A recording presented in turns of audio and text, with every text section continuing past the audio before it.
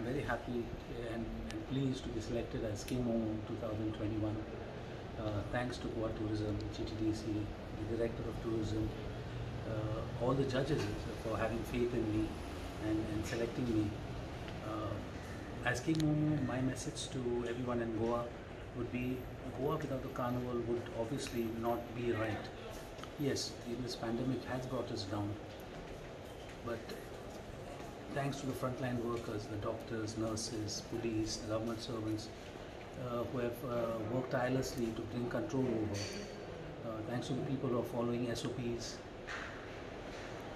Carnival will be celebrated. It is, it is a sign of us showing a victory over the pandemic, over the virus.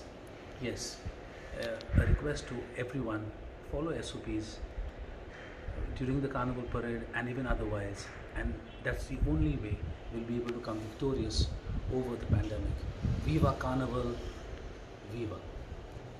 Well i don't know i don't i didn't know what the criteria for for being momo would be because the judges didn't exactly let us know what the criteria would be.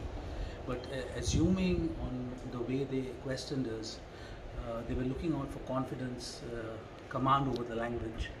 Um, they made me sing a song, so they're obviously looking for somebody who could entertain the crowd, maybe uh, kind of uh, bring the party to life, kind of as they would like to say. So th that that's all that I can say. But, but, thanks to the judges, I am here today as King Momo.